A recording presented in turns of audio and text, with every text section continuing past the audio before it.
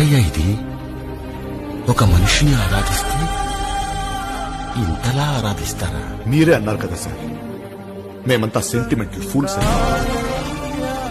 మా తెలుగు ప్రజలు ఎవరి మీద అంత త్వరగా అభిమానం పెంచుకోరు. కానీ ఒక్కసారి పెంచుకుంటే చనిపోయే వరకు వదిలిపెట్టారు.